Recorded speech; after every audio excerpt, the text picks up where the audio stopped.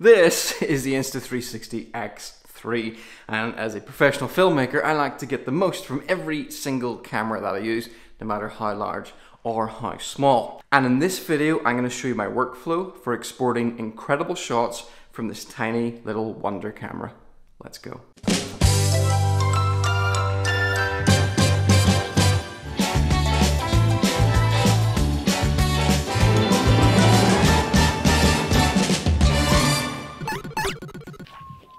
By the way, if you're into the outdoors and you want to see how I use this camera in my adventure videos, you might want to have a little look around. Now there are quite a few ways to export footage from this camera, but I'm going to concentrate on the two that I use the most. One, a simple method using the smartphone app that I use mostly for vertical edits for social media, and two, using the desktop app to get the best quality exports possible. Mm. And maybe one fun bonus method that I'll keep to the end. Okay, right, let's start with the app. Let's get it loaded up. You can do your edits over Wi-Fi directly from the camera streaming to your phone, uh, but sometimes I like to download the files to my phone because I find it's a little bit quicker sometimes. So I've got a file here that I want to work with today. Um, and when I click on that file and open it up, what you'll notice is at the top you got three options. You got auto, snap, and edit. And I'll quickly talk about auto because auto is for the really lazy, if you really, really don't want to have to do anything and you want super, super easy edits, go to auto, hit the analyze button.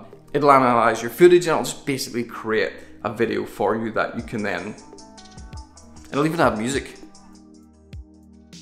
Sometimes auto will give you actually quite nice edits and other times it won't work at all. But if you're in a real hurry, it can be a nice way to make an edit. Let it do its thing and then you can select the clip and then you can export export to phone album, export.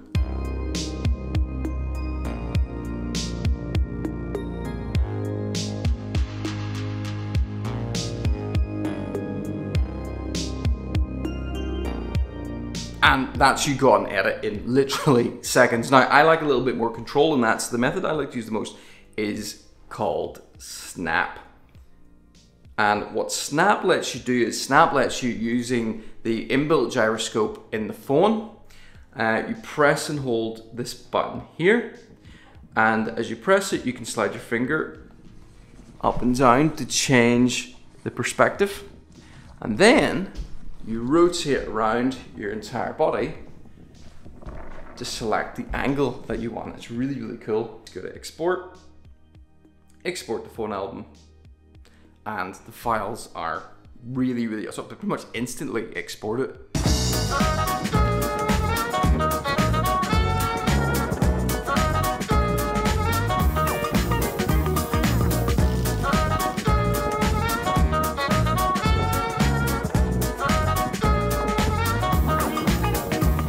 Now the third option you got in here is edit. And edit is the older method and it's basically a more advanced version of Snap. But I'm not going to talk about it in this video because I've already made an in-depth video about how to use the edit and the viewfinder workflow and keyframes and you can go and watch that video if you really want to find out how to do it that way. Okay, so next is the method that will give you the best quality footage possible and that is using the Insta360 studio software on a desktop computer. Let's take a look. Okay, I've got Insta360 Studio is open and on the right here I've got the files from the X3. So I'm just gonna drag them all in because it's sometimes difficult to find the exact one you want. So I'll drop them in, it'll load them up into their individual projects and then I'll go through and I'll find the one that I want to edit. There are a number of things I can do in the studio. You can see as I scroll with the mouse, I can zoom in and out and I can click and drag and do all kinds of of weird things. Now, the quickest way I could export this is just to track myself. I'm gonna do that first. I'm gonna click along here to where I want the start of the clip to be. And I might just grab that hand on the left there just to reduce the overall length of the shot so it starts there. And then I go over here the right hand side. You see here you've got deep track. So I'm gonna click and drag over myself, hit start tracking, and that will track me.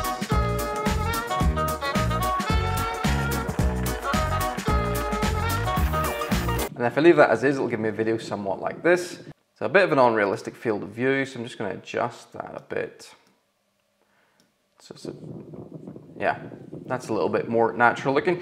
Okay, and that gives me a good clip already, which I could just go straight ahead and export, and I'll show you the export settings I use. I go to start export. here's your export dialog. Now my advice would be to set up a preset um, so you don't have to change these settings every time. But what I do is for resolution, it's currently 1920 by 1080. I can change this so it's 4K, which is 3840 by 2160. Now, even if you're only using this on a 1080 timeline, I find this does actually give an increase in quality.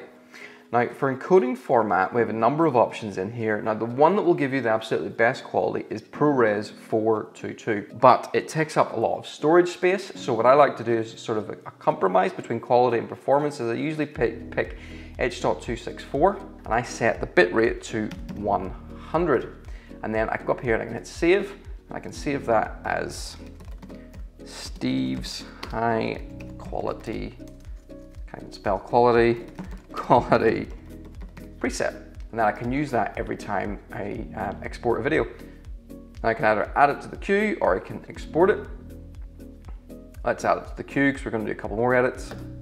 Okay, so that's it in the queue. Now, I just want to show you a different way I could have worked with this video and it's using keyframes. So keyframe is you basically line up the shot with whatever you want to look at. Hit this little plus here. That adds, well, a keyframe move along in the video. Um, so I think by the time I'm going under here, I'd like to the camera to point at myself, change the camera angle. You can even zoom in and out, hit plus the keyframe, and the app will automatically animate between those two angles. Something that can be good to do here is if you click on that line, you can see you get these different options. Um, and these different options just basically can smooth out the animation between the frames so it doesn't look quite as robotic. And it's good to sort of generally play around with these and just find the ones which give the best results. I'm gonna leave it on flat for now. Okay, so coming through there, I'd like the camera to point maybe in towards those rocks until about here. Yeah, and then by the time I'm climbing, I'd like it to point in back down again. Let's see. There we go. There. That angle. Hit that keyframe. And then move up here. Yeah, that's pretty good. And then the video will just animate between those keyframes I've set.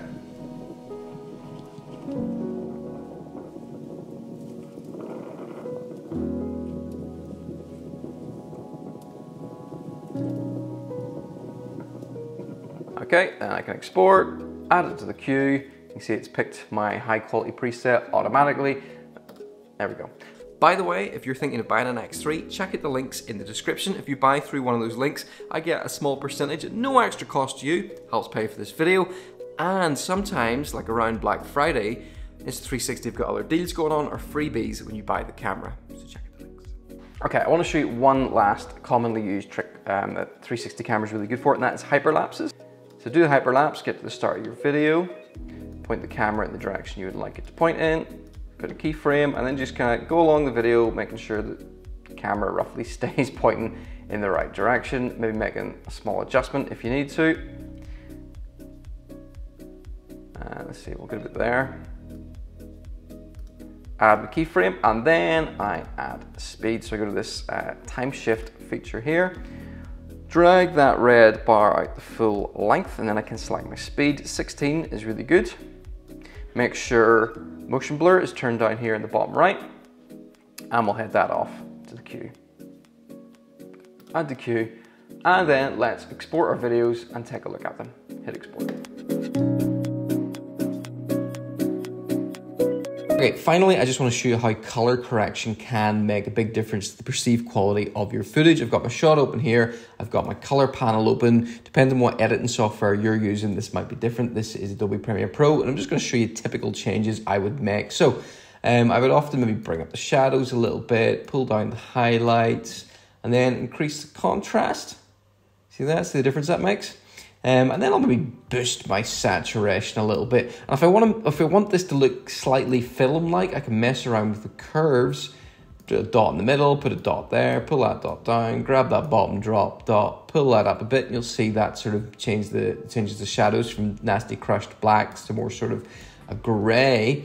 Add a bit more contrast into that. Go down, mess around here. Let's add a little bit of a vignette into it around the edges, and then before, after. So don't just leave your footage as it comes off the camera. So just 60 seconds to do that, and it makes quite a nice difference to the footage. Okay, time for a little bonus method now.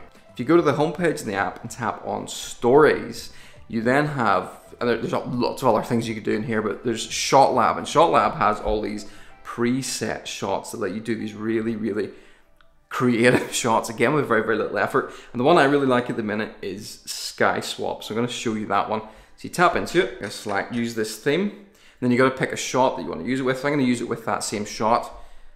Hit select it, Okay, and then what you want to do is you want to select what you want to change the sky to be. I quite like the galaxy. So you're going to select the galaxy. It then generates a preview video with the sky swapped. And you can just export it at this point, but I like a little bit more control. So I go to that export, export button on the top right, go to create story. I'll export and then it'll open up an editor where you can then work with the footage. There's lots you can do in here. You can add music, you can add text, you can put stickers on the footage. Is like there's a lot built into this 360 app. It's really, really cool. But what I want to do is I want to track myself through the shot. So I'm going to tap on that clip. Um, and if you go along, you'll notice there's some little dots on it. Those are keyframes. I'm just going to delete those. I don't want those. And then I'm going to go down here to the bottom left, tap on reframe, tap deep track. The tracking in this 360 is really good. Tap on me and then select me and then hit start tracking and that will track my movements throughout the entire video. Once that's done, I can adjust the field of view a little bit and I end up with this shot.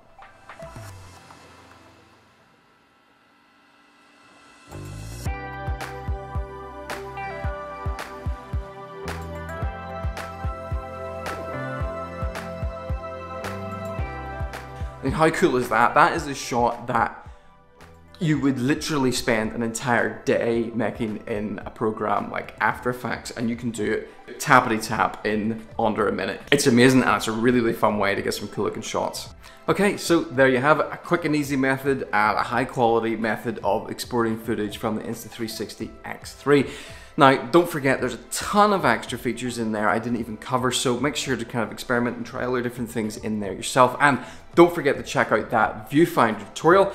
Let me know down in the comments which of those methods you prefer. And as always, thanks for watching. Maybe someday I'll catch you in the trails. Bye bye.